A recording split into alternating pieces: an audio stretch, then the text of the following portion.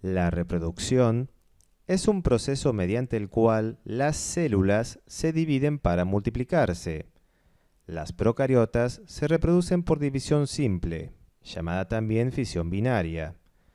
En los organismos pluricelulares se distinguen dos tipos de células eucariotas, las somáticas, que forman parte de todos los tejidos, y las sexuales, representadas en los animales superiores por óvulos y espermatozoides.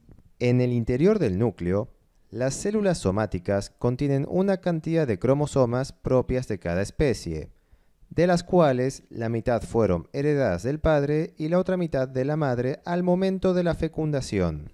Por ejemplo, los seres humanos al poseer 23 pares de cromosomas poseen 46 en total, las células somáticas, al tener el doble juego de cromosomas, se denominan diploides y se simbolizan como 2N. Por el contrario, las células sexuales contienen solo la mitad de la dotación total de cromosomas, por lo que se las denominan haploides y se simbolizan como N. Por ejemplo, el ser humano posee 23 cromosomas en cada óvulo y en cada espermatozoide. Cuando se produce la fertilización, Ambas células haploides paternas aportan toda su carga cromosómica para dar lugar a la primer célula diploide, denominada también cigoto, el cual dará origen a un nuevo individuo con la cantidad de cromosomas propias de la especie.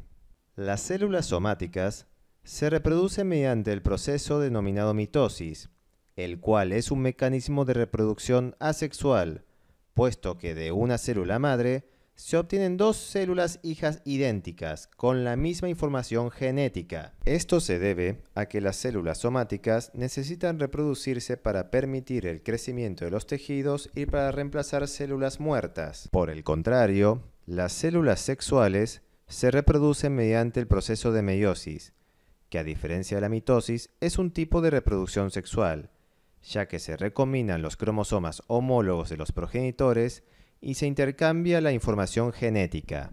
El ciclo celular es el proceso que se inicia con el nacimiento de una nueva célula y finaliza cuando ésta se origina en dos células hijas.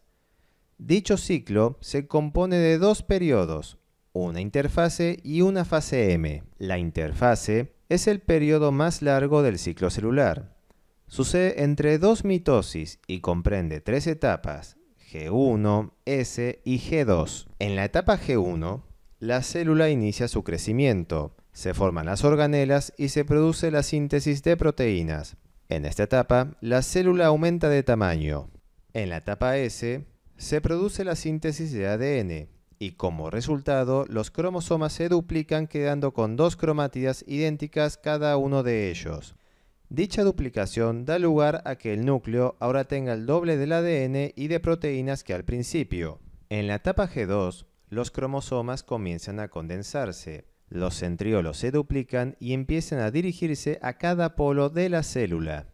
Y finalmente, tenemos la fase M, en la cual la célula progenitora dará lugar a la formación de dos células hijas idénticas.